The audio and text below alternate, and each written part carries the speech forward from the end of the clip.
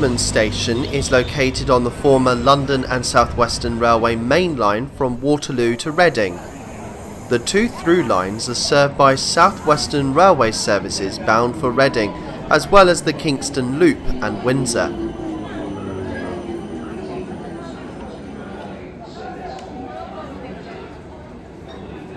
Next to the double track through lines are five terminal platforms, which terminate London Underground's District Line and London Overground's North London Line.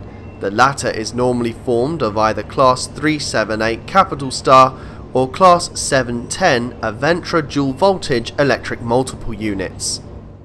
We will be travelling over the North London Line to Stratford, taking approximately an hour to cover the 16 miles and to call at 23 stations.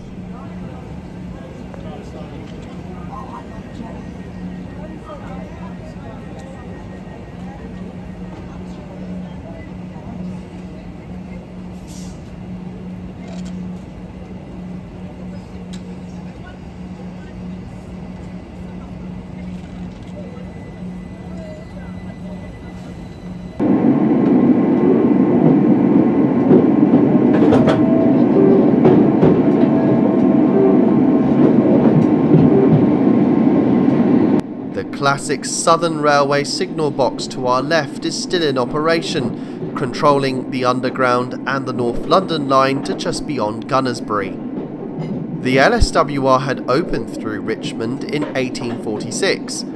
Our line was also built by the LSWR and opened as far as Hammersmith in 1869. The district didn't start running along here until 1877.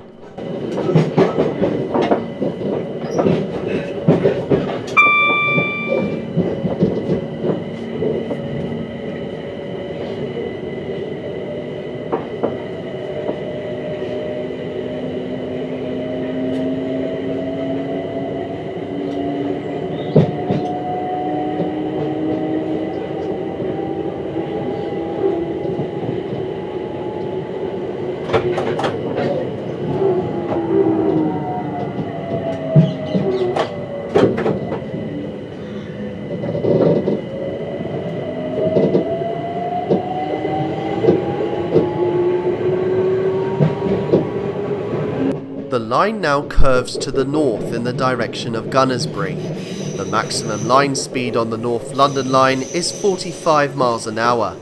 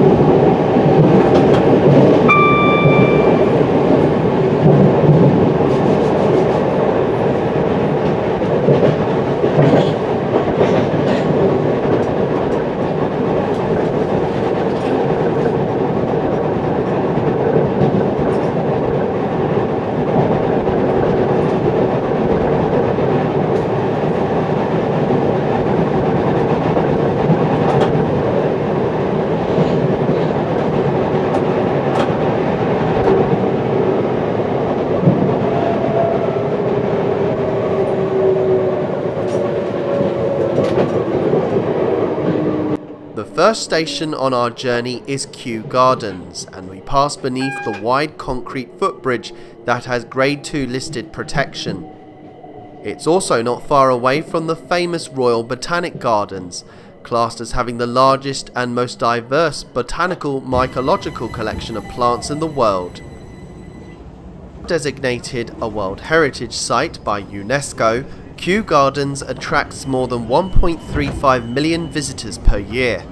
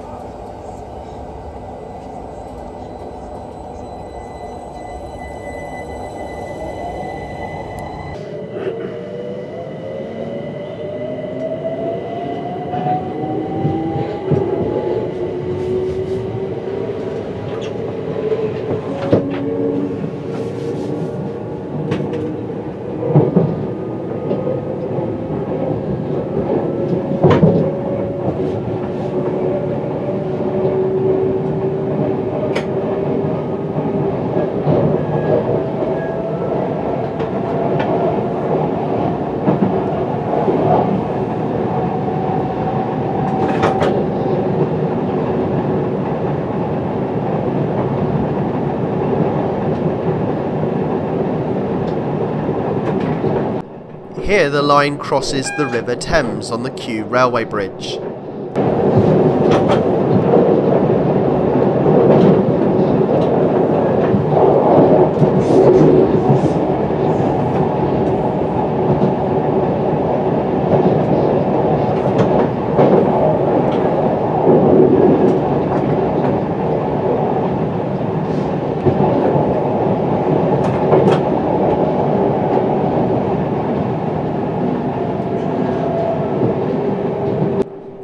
Beneath the Great West Road, the start of the M4 motorway.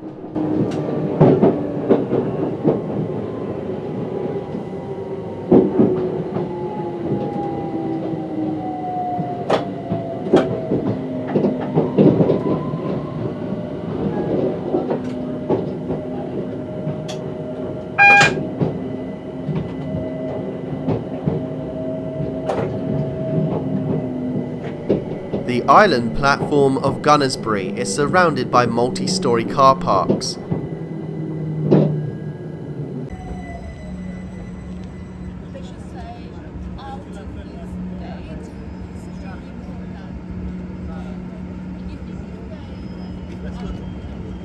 Having opened with the line as Brentford Road, the name was changed to the present title in 1871.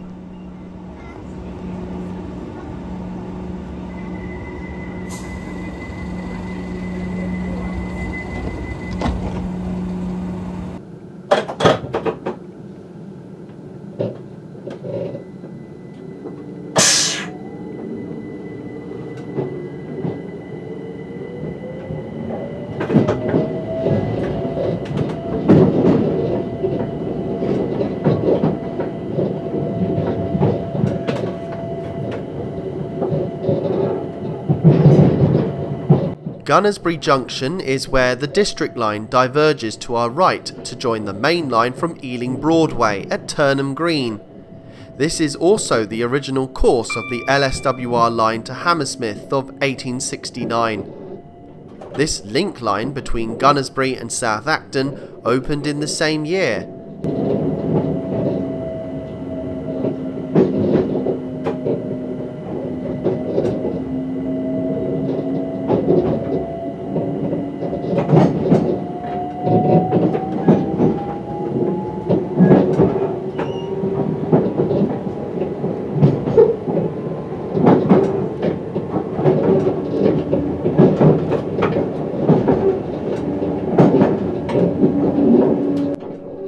pass under the four tracks of the District and Piccadilly lines between Acton Town and Chiswick Park. The closed signal box at Bollo Lane that once controlled our route but now signalling is with the box at Acton Wells.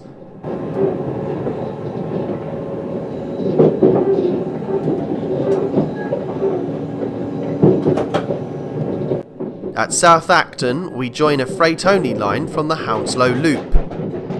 This line was originally built from Willesden Junction in 1853 by the North and South Western Junction Railway.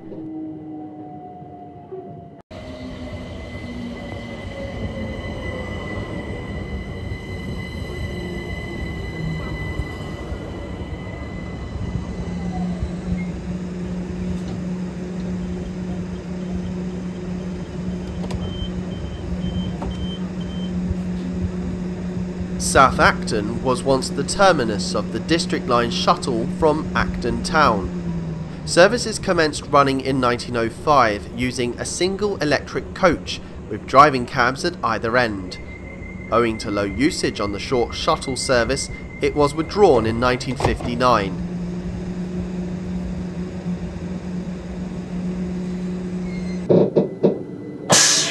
The crossover north of the station can allow for train reversals.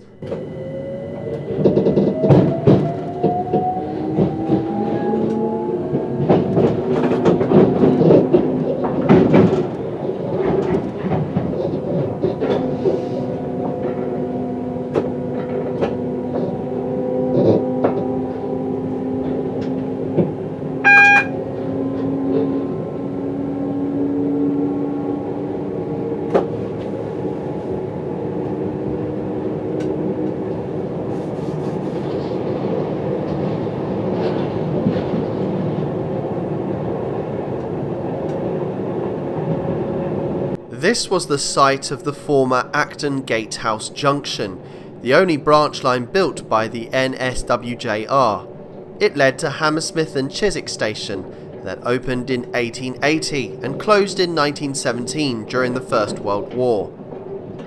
Overhead electrification now begins on the approach to Acton Central.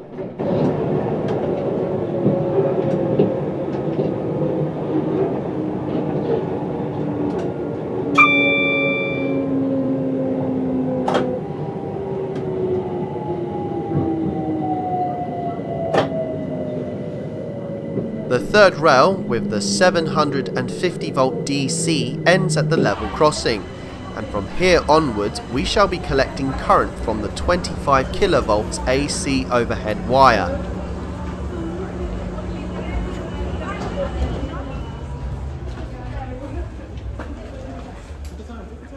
The pantograph is raised to collect the electric power.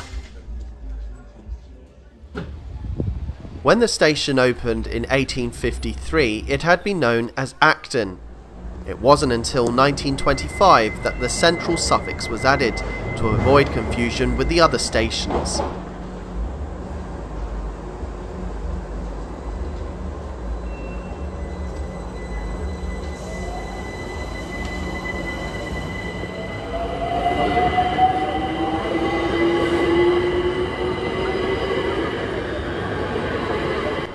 As well as Acton Central and South Acton on our line, there is an Acton town on the District and Piccadilly lines, West Acton, East Acton and North Acton on the Central line and an Acton main line on the GWR main line out of Paddington.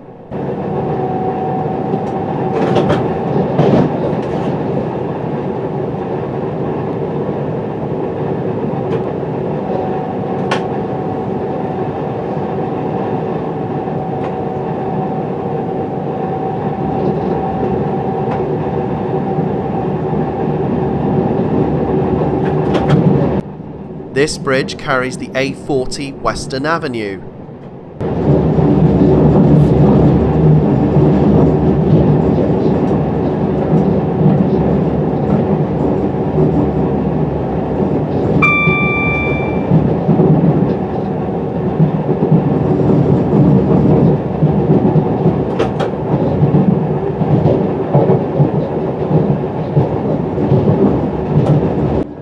The line now crosses the Great Western Main Line. This is followed by a connection coming from Acton Main Line on the left.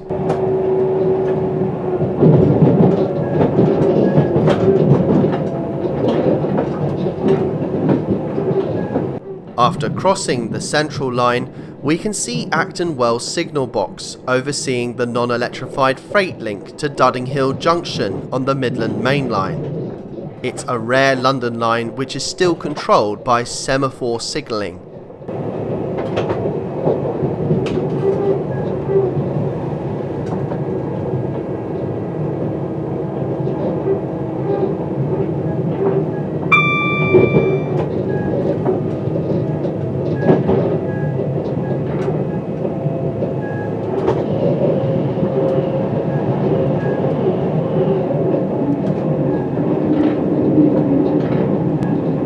line a connection with the West Coast Main Line.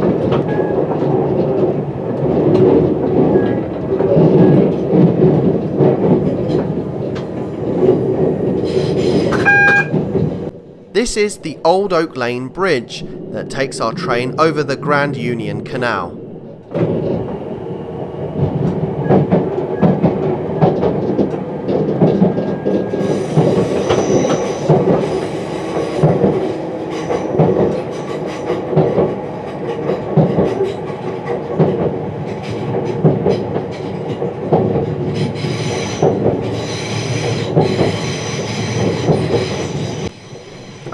At High Level Junction, the West London line from Clapham Junction converges. We shall be taking this route later. Now we cross the busy West Coast Main Line.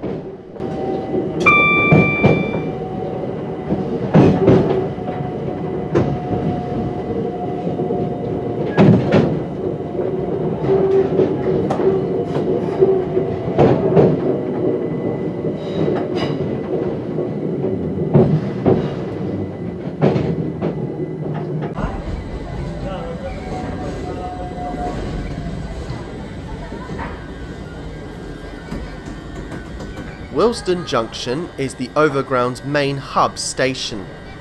There used to be interchange with the West Coast Main Line, but the platforms on that line closed in 1962, leaving the connection today with the Watford DC line between Euston and Watford Junction, and Bakerloo line services from Elephant and Castle to Harrow and Wealdstone.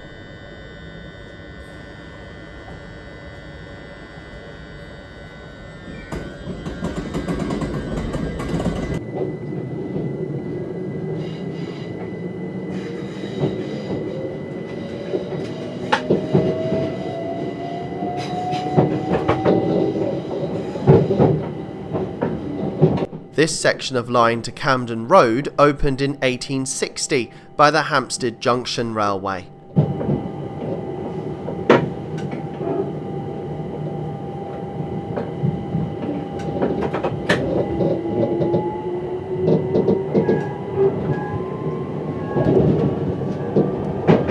There are connections here from left and right, former is from Wembley Yard and the latter is a connection with the DC lines used by empty rolling stock.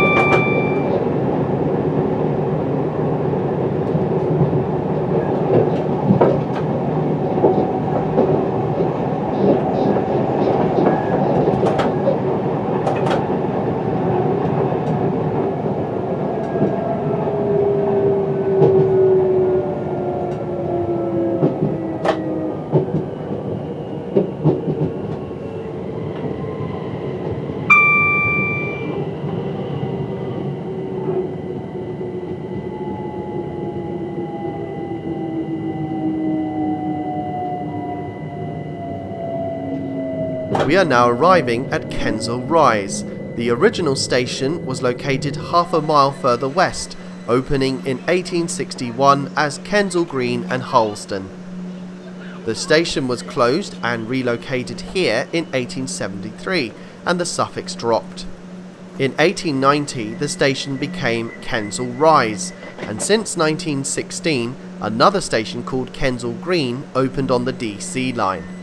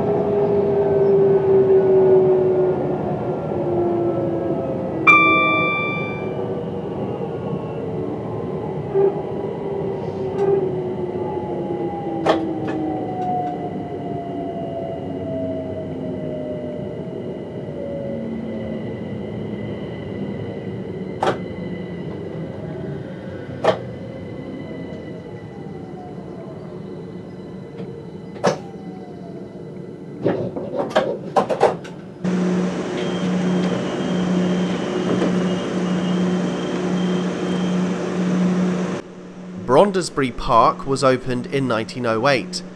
The service pattern now over the North London line sees 8 trains an hour bound for Stratford, whereas in the opposite direction, 4 go to Clapham Junction and 4 go to Richmond.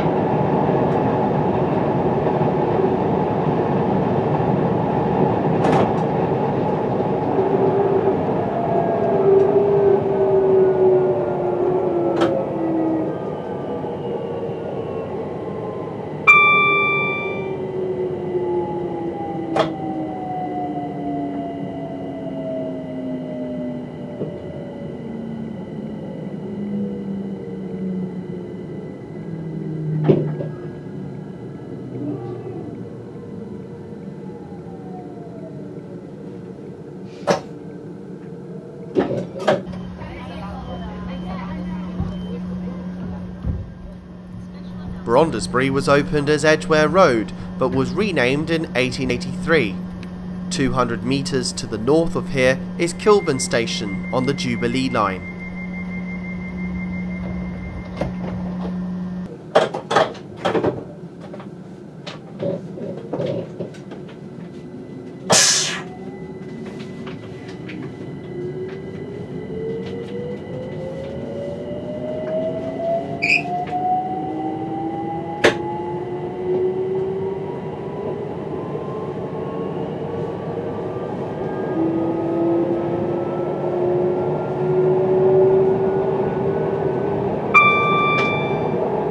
We pass under the wide formation of the Metropolitan and Jubilee lines and the Chiltern Main Line from Marylebone.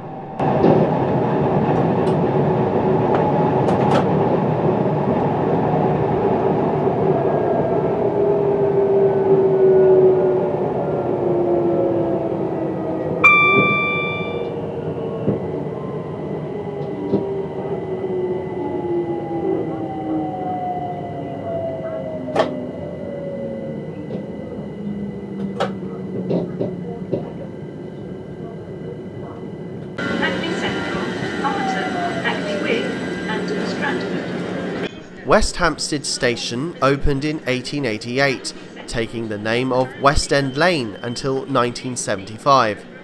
Although convenient with the Jubilee and Thameslink stations of the same name, there is no physical connection with the two.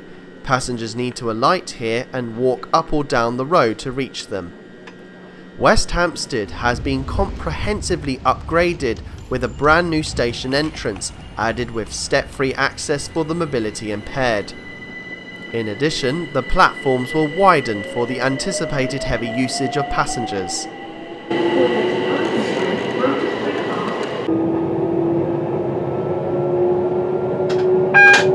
We crossed the Midland Main Line just as the four tracks emerged from Belsize Tunnel.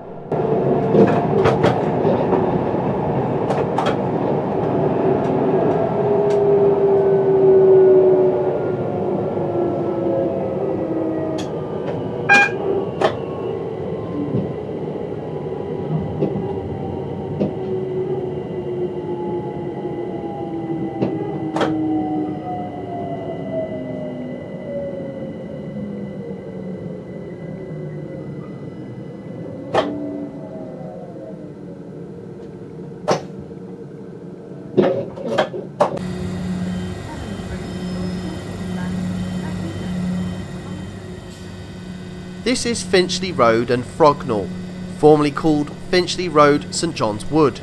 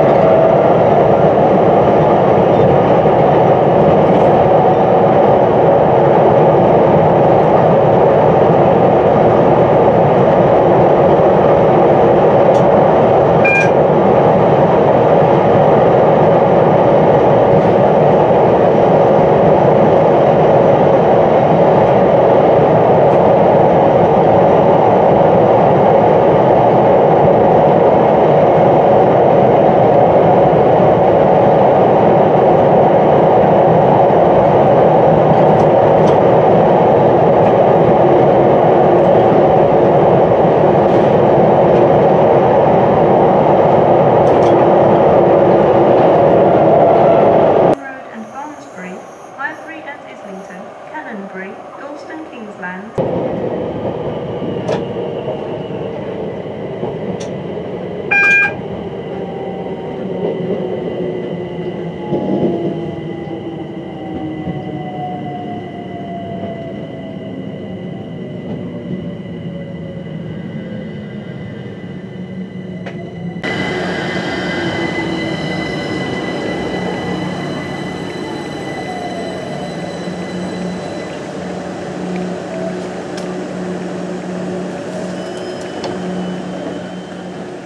Hampstead Heath, The station here was rebuilt after a World War II bomb destroyed the original. It was rebuilt again in the 1990s in conjunction with works to allow Eurostar trains to use the North London line.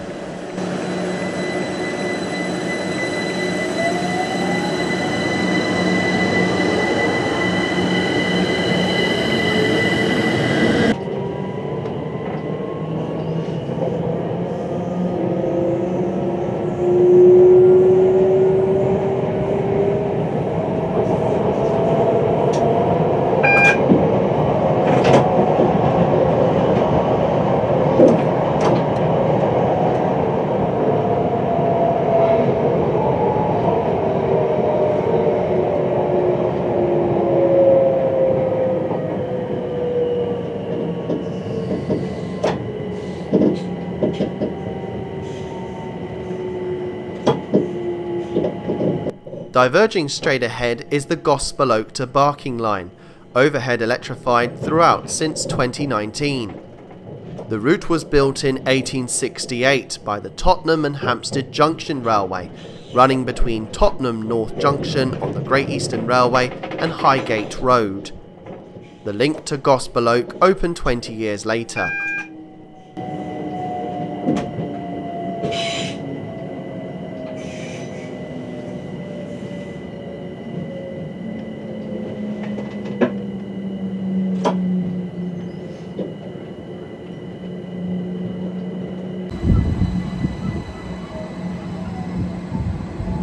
The Gospel Oak to Barking Line service is every 15 minutes, with Class 710 trains now running to a brand new terminus at Barking Riverside, which opened in the autumn of 2022.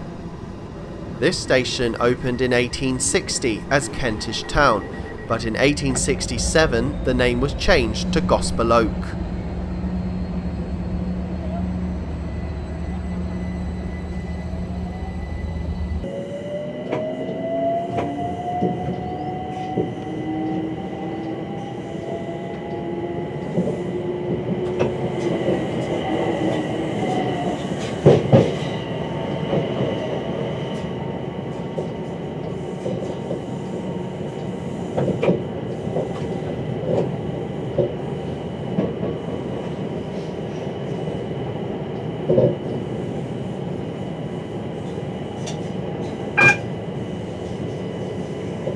Line now turns to face the south, crossing over the Midland Main Line for a second time.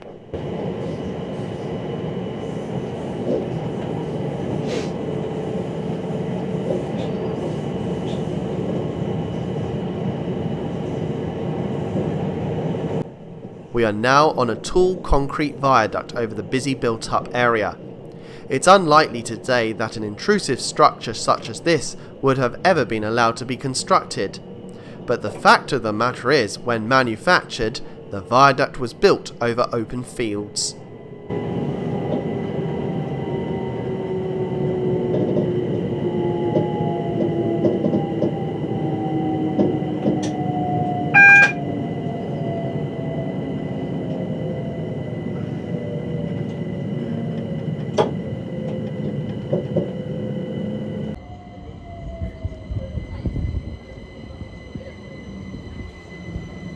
This station opened in 1867, concurrent with the renaming of Gospel Oak Station to avoid confusion. The station became Kentish Town West a year after the railway grouping in 1924. Sadly, in April 1971, a serious fire broke out and burnt the station to the ground, causing no trains to stop here for nearly 10 years. After much consideration whether to reopen the station, it did so, officially opened by the former Mayor of London, Ken Livingstone.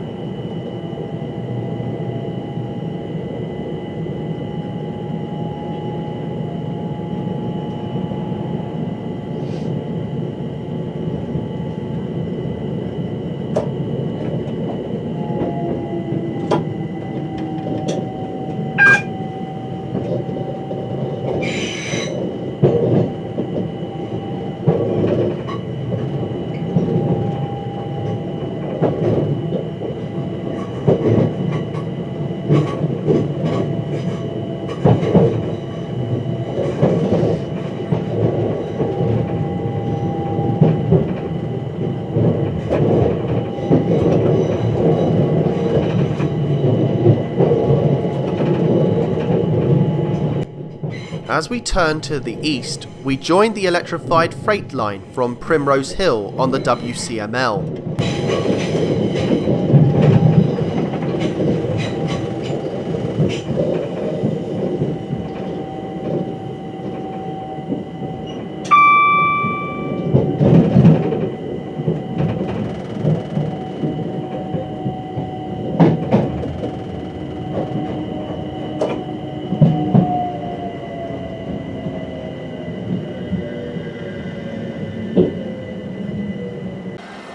Camden Town Station was opened 20 years after the rest of the line, but was renamed in 1950 to Camden Road to avoid confusion with the London Underground station of the same name. Between 1979 and 1985, this was the western terminus of the Crosstown Link line from North Woolwich, which had been operated by diesel multiple units. These were replaced by EMUs when the service extended to Richmond.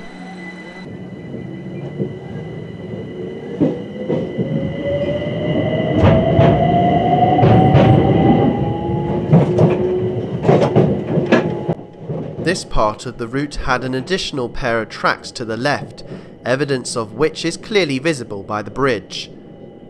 This is the oldest part of the North London line, opening in 1850. The company was known as the East and West India Docks and Birmingham Junction Railway, running from Primrose Hill in the west to the docks at Poplar via Bow in the east. This long-winded name lasted for just three years before a simpler name was given, the North London Railway. A connection is made with the East Coast and the Midland main lines to the right, as we now cross over the latter for the last time. This is followed closely by the bridge crossing the East Coast main line.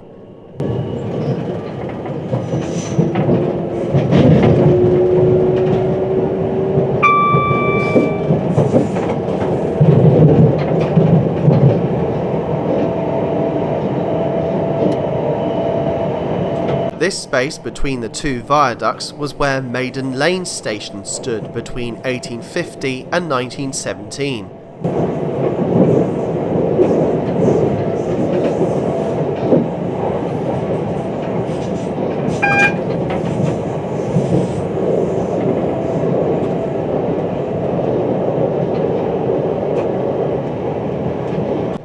The High Speed 1 line from St Pancras now runs parallel to us, albeit underground all the way to Hackney Wick.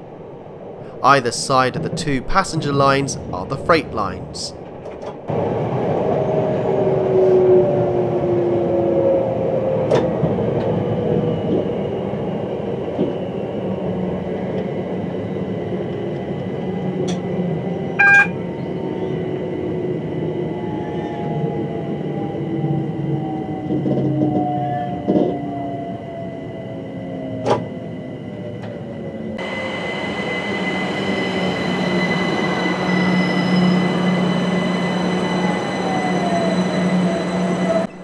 The island platform of Caledonian Road and Barnsbury opened here in 2011 in order for new signalling to be installed and the platforms to be extended to accommodate the five car trains. Signalling since Willesden Junction has been under the control of the Upminster IECC, or Integrated Electronic Control Centre. The station had opened as Barnsbury in 1870 but became Caledonian Road and Barnsbury in 1893.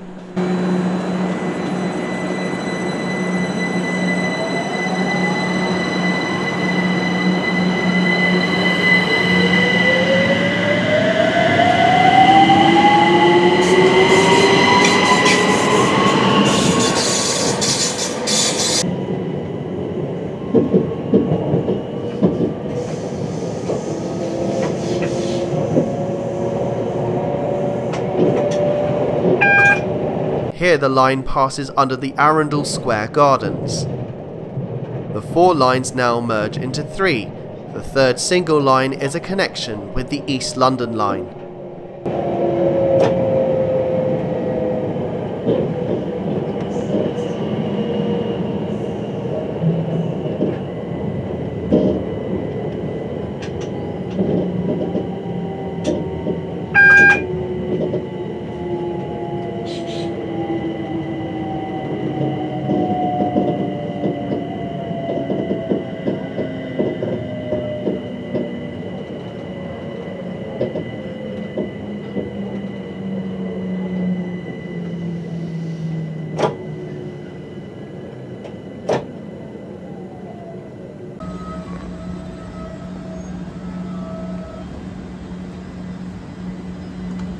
Original station, Highbury and Islington is a major interchange with the East London line, which was extended from Shoreditch to here in 2010. Services run from here to West Croydon, New Cross and Crystal Palace, as well as to Clapham Junction over the South London line.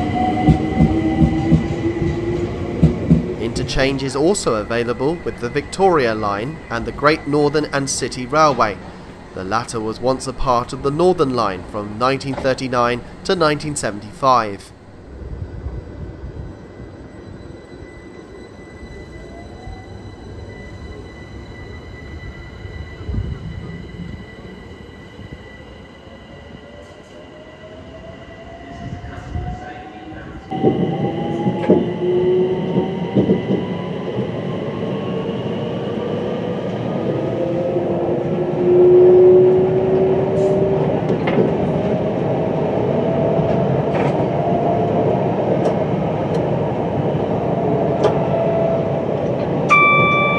Just to the west of Canonbury is a freight-only connection from Finsbury Park on the East Coast Main Line, which passes through the Canonbury Tunnel. It was opened in 1874 and used to carry passengers from Broad Street until 1976. We pass the site of the original Canonbury station, opened in 1858 as Newington Road and Balls Pond. The station was renamed at the time of the move in 1870.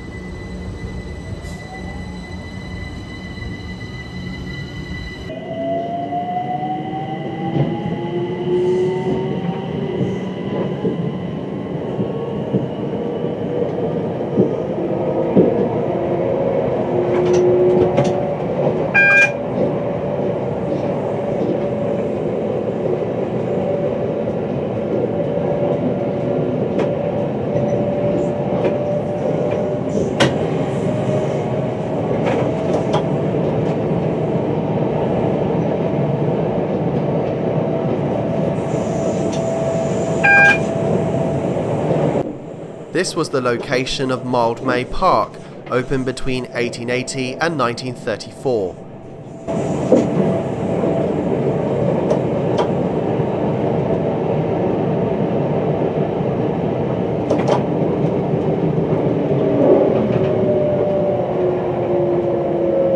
The East London line now diverges towards the south and into the new underground station of Dalston Junction. Although no longer a junction, it was located at the southern tip of a triangular junction with our line and continued into Broad Street by means of a viaduct which the East London line takes today. Dalston Junction once boasted six platforms and closed with the rest of the line into Broad Street in 1986. This is Dalston Kingsland, opened in 1983, later to replace Dalston Junction three years later. An earlier Kingsland station had been located on this site between 1850 and 1865.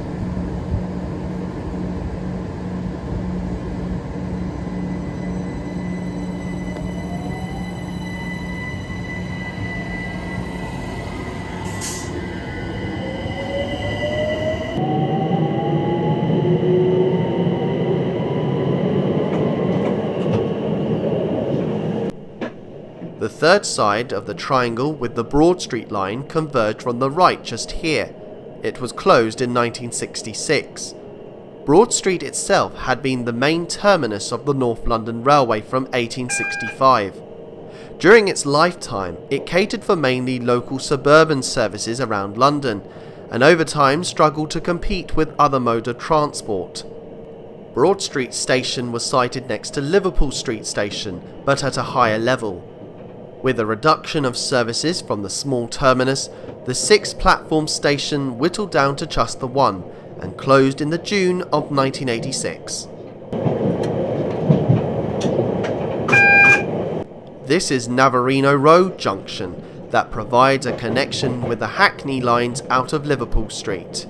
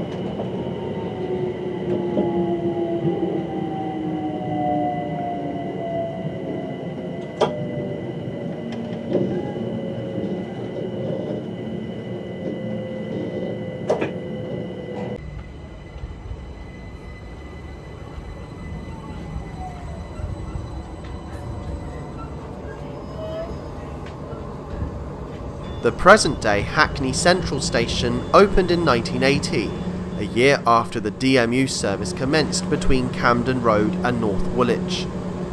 In 2022, a new entrance on the south side of Graham Road, complete with ticket office and footbridge, was open to the public.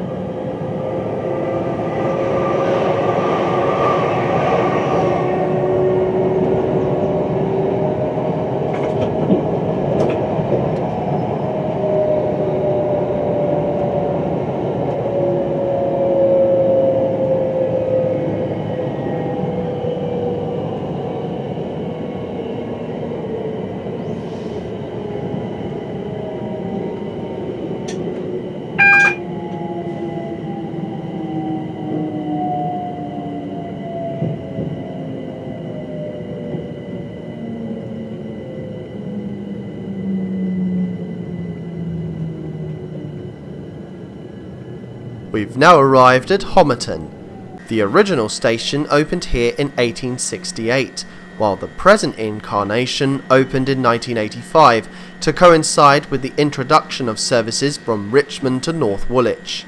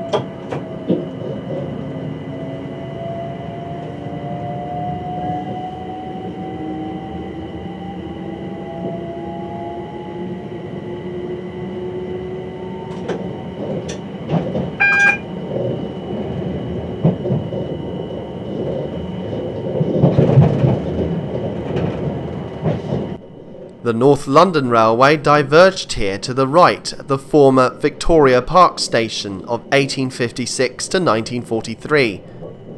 The NLR connected with the London and Blackwall Railway at Poplar and their trains ran east to terminate at Fenchurch Street. This was until Broad Street Station opened in 1865.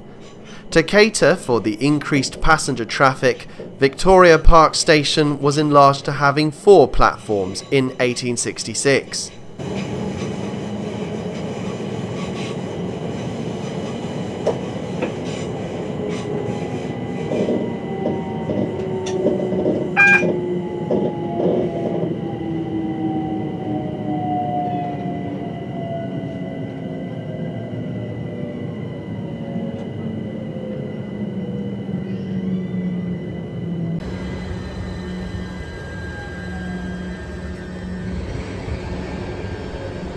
Wick was opened on the same day as the new station at Hackney Central in 1980.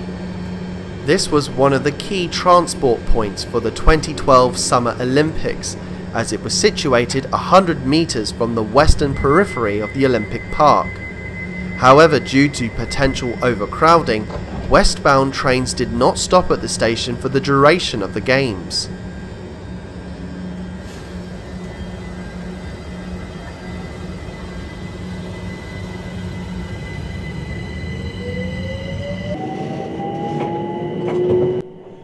Here we cross the River Lee navigation.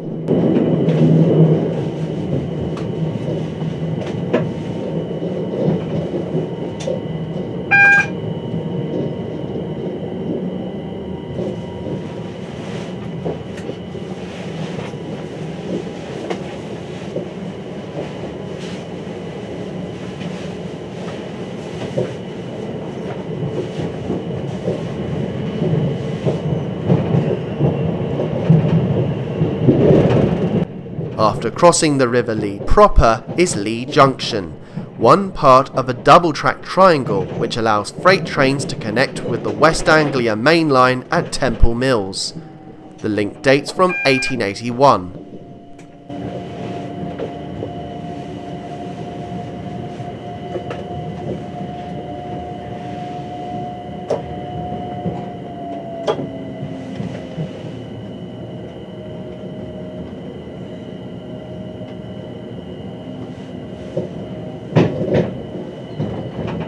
Channelsea Junction, we branch onto a brand new double track line that takes us to the two dedicated terminal platforms at Stratford.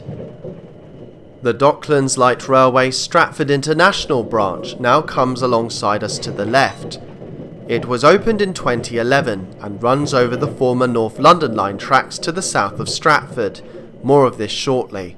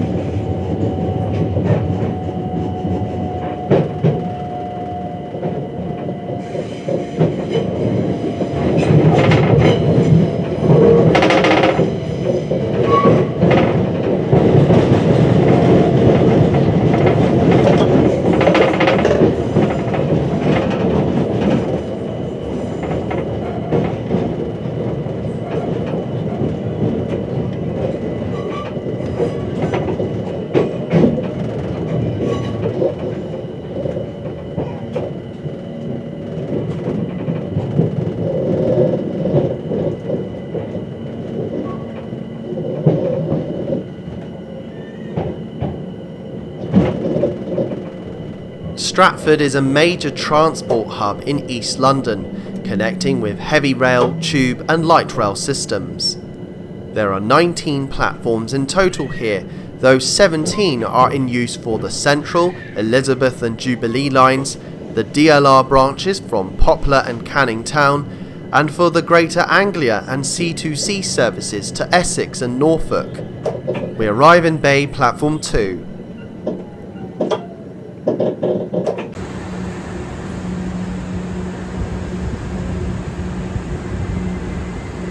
With the recent National Rail entry and exit figures, Stratford is the fifth busiest station in Britain. This was enhanced in 2007 with the arrival of HS1 at the nearby Stratford International Station, and also in 2012 with the Olympic and Paralympic Games.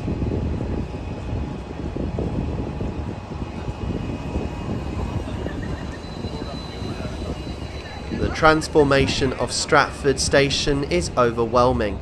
Once a mere village when the Eastern Counties Railway first established themselves here on their line to Romford in 1839.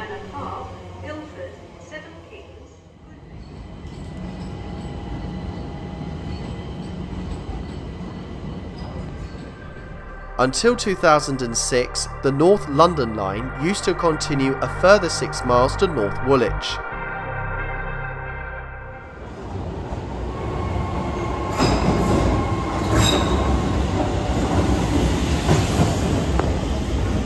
These platforms underneath the main train shed was where the North London line used to call at, but have since been taken over by the DLR's Stratford International branch. The DLR branch takes over the former NLL until Canning Town. The line was originally built in 1846 by the Eastern Counties and Thames Junction Railway, connecting the Royal Docks with the ECR main line. The rest of the former North London line has been taken over by the newly opened Elizabeth line on their Abbey Wood branch. The line utilises the former Connaught Tunnel, which had to be reconstructed to remove the single bore tunnel wall, which had supported the access waterway from the Royal Victoria Dock to the Galleons Marina. The two stations at Silvertown and North Woolwich have been lost altogether. The Grand Station building of North Woolwich still survives to this day, designed by Sir William Tite in 1847 now the Grade 2 listed building since 1998. In November 1984, the Queen Mother had officially opened the Old Station Museum to reminisce on what the railways in this area were like in the height of the Great Eastern Railway. The museum had a collection of railway materials, signs and station artefacts, as well as models and non-operational steam locomotives. The borough of Newham was no longer able to finance the museum and closed in 2008, with all the visible displays, including the rolling stock and signage, being removed and moved on to other railway museums located in Essex. There has been a ferry service operating across the Thames to what is now Old Woolwich and what would later to be North Woolwich since the Norman conquest. This was the catalyst for the Eastern Counties and Thames Junction Railway to extend from Stratford and to provide their own ferry service across the Thames to where the Great Royal Arsenal was located.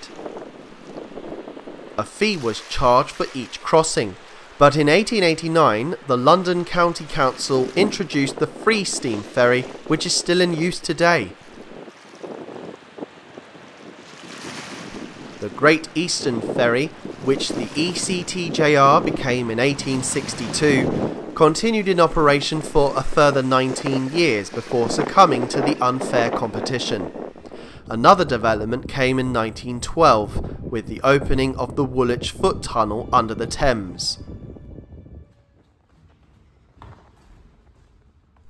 Both of the tunnel entrances are Grade 2 listed, the entrance on the southern side, somewhat hidden behind the waterfront leisure centre, remains today as the oldest riverside building in Old Woolwich. We now return back to Willesden Junction for the promised trip down the West London line to Clapham Junction.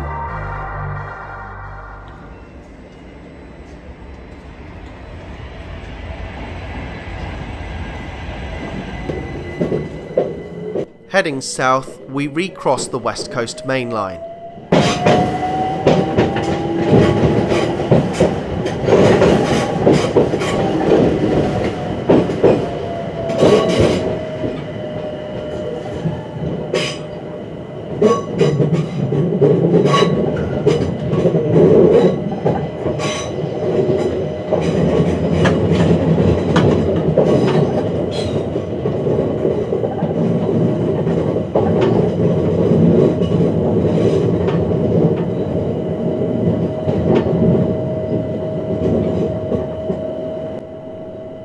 Origins of the West London Line begin as early as 1836, when the Birmingham, Bristol and Thames Junction Railway was authorised to run from the London and Birmingham Railway to the Kensington Basin on the Kensington Canal.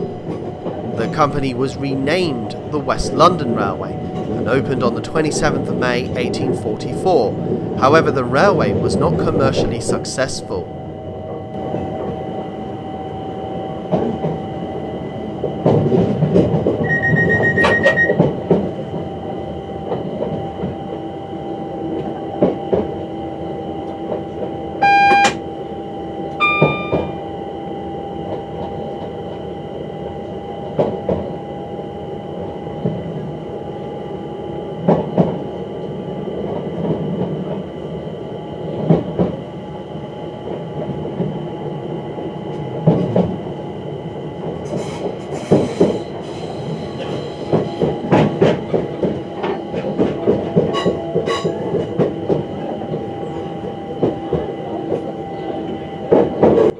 We join a connecting link line from the West Coast Main Line, which is these days used by Southern services between Watford Junction and East Croydon. This viaduct spans the Grand Union Canal and the Great Western Main Line out of Paddington.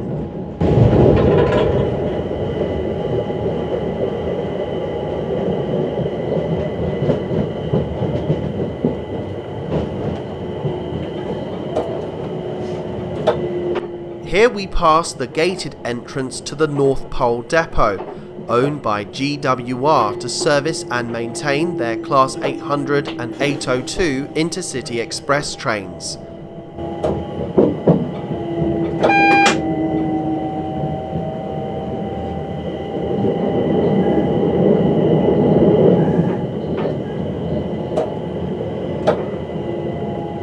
Signalling has now passed from Wembley Main to London Victoria. You'll now notice that the third rail has reappeared and the driver will now need to change the train's settings from the overhead power to the third rail system. Interestingly, Class 378s can actually change traction current whilst on the move, albeit at a reduced speed, while the Class 377 Electrostars on Southern services the drivers are required to bring their trains to a complete halt. Incidentally, this is also the location of the one-time St Quintin Park and Wormwood Scrubs station of 1871 to 1940.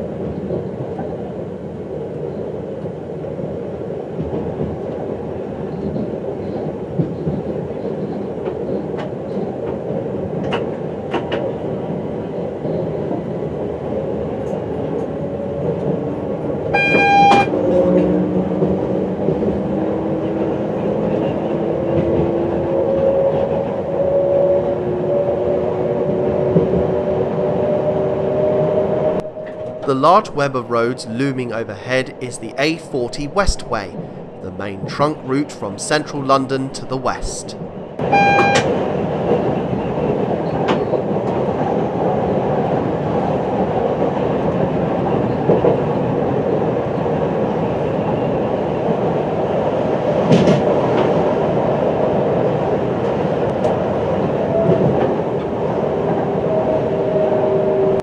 The Circle and Hammersmith and City lines cross us here. The one-time connection has long since been removed.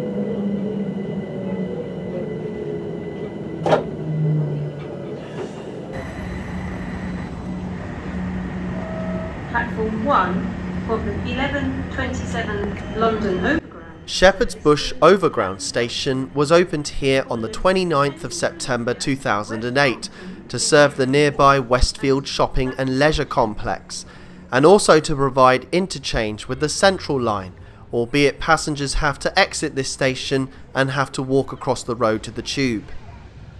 Previously, a station existed almost exactly in the same location. Uxbridge Road it was known as, and was opened by the London and North Western Railway in 1869 as part of the so-called Middle Circle route. It was in operation from 1872 until 1905 and began at Mansion House on the District Railway, running via Olympia, Paddington and King's Cross before terminating at Aldgate. Located here was a link with the London and South Western Railway on its line from Richmond via Hammersmith Grove Road, opened in 1869 and closed in 1916. The original Kensington station of 1844 was located around about here and was the southern terminus of the West London Railway.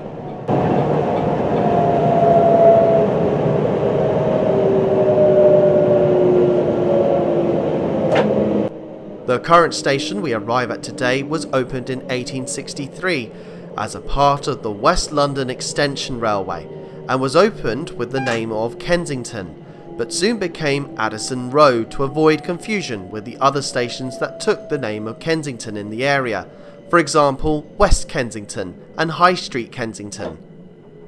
With the arrival of the District Railway in 1946 from Earl's Court, the name was finally changed to Olympia the district service to the station is now on the weekends and bank holidays only, as well as some events that occur at the Olympia Exhibition Hall immediately adjacent to the station. This once catered as the British Rail Motor Rail Terminal, which carried passengers and vehicles across Britain.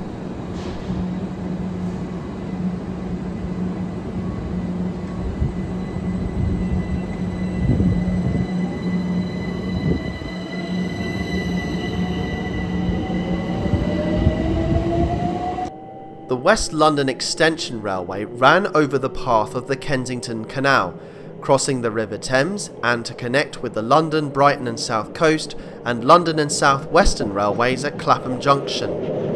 Local and long distance traffic operated over the West London until passenger trains were withdrawn in 1940, but continued to be operated by a sporadic freight service until the 1980s.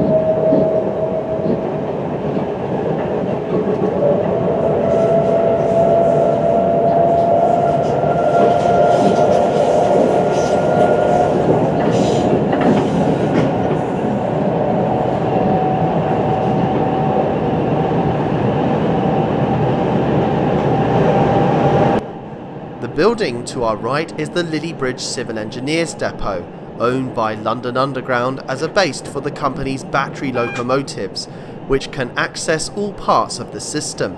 The famous Earl's Court exhibition centres used to be on top of us, but they have since been demolished to make way for the Earl's Court regeneration scheme.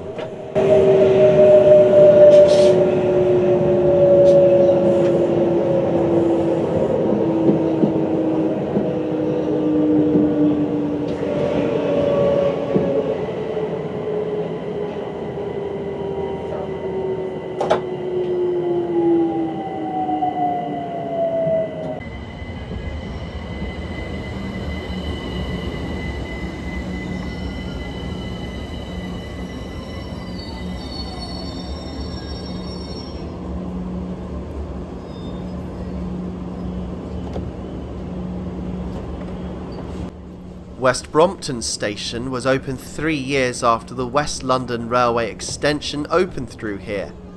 This was followed by the District Railway a further three years later in 1869 on the company's first westerly extension from Earl's Court and remained a terminus until the extension to Putney Bridge opened in 1880. During that time, both the main line and underground stations were separate until the then Transport Minister Glenda Jackson formally unified the interchange between the two lines in 1999.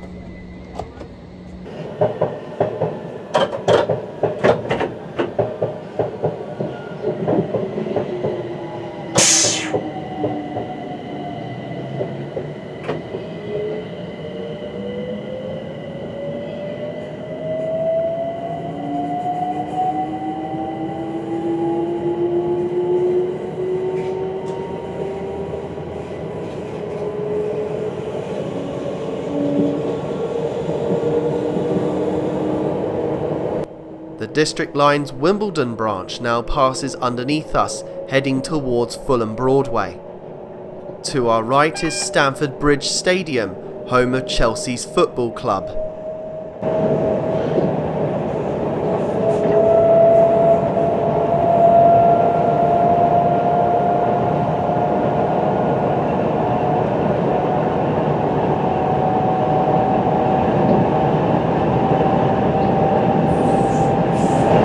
This was the site of the WLER's Chelsea and Fulham station.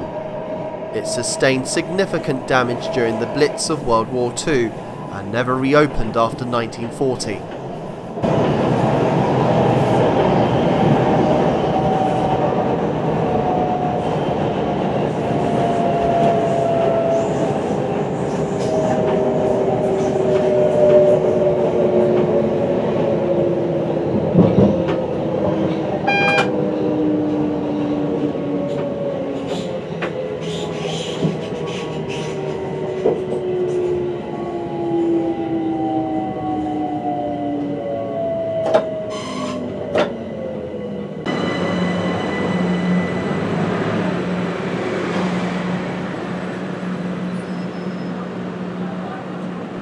Imperial Wharf is the most recent addition to the West London line, having opened in September 2009 at a cost of £3 million. The station is located in the sub-district of Sands End and nowadays serves a brand new residential area which was formerly an industrial area.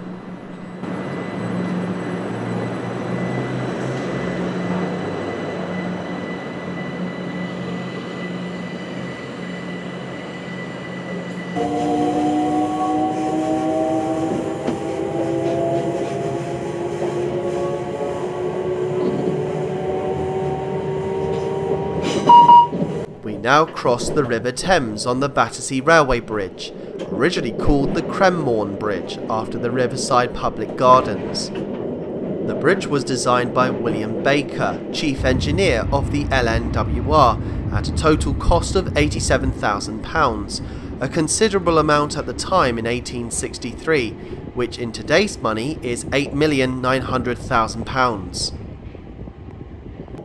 Our train would terminate on platform 1 at Clapham Junction, but at the time of filming, trains on the South London line were experiencing severe delays, and thus trains were occupying the Overground's two terminal platforms. The signaller based at Three Bridges has told our driver we will therefore now be terminating on platform 17, a very rare move indeed, but a delight for us as we will get to see this in the video. The line we should be taking diverges to the right. We take the next turning to the right, whilst the line head connects with the Southwestern Main Line into London Waterloo and many South London lines that emanate from London Victoria.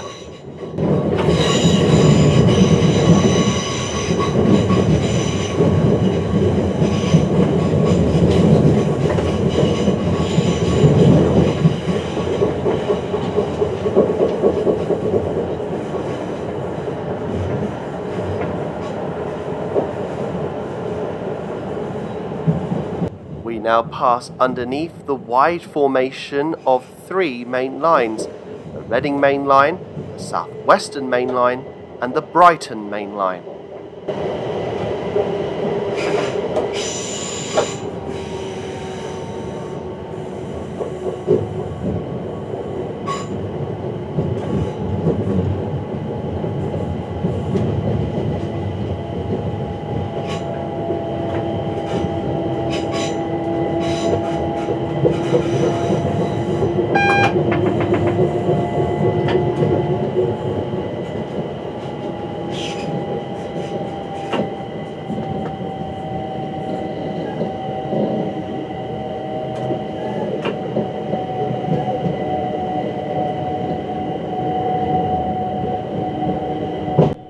The LSWR was the first to open through here in 1838, the LBSCR in 1841, and the Reading Main Line opened in 1846. Incidentally, that line was also built by the LSWR. Oddly enough, Clapham Junction Station didn't exist at this time, but in 1863, with the arrival of the West London Extension Railway, it was decided one large joint station be accommodated for all the train services. So, on the 2nd of March 1863, Clapham Junction was born and is today one of 20 major stations owned and managed by Network Rail. It's quite an unusual anomaly to see an overground train on platform 17.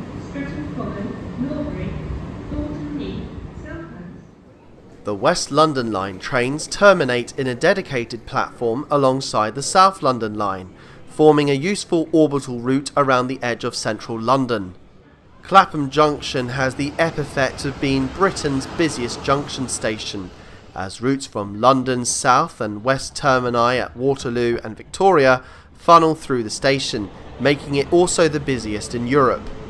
Approximately 100 and 180 trains per hour pass through the station, some of which don't stop.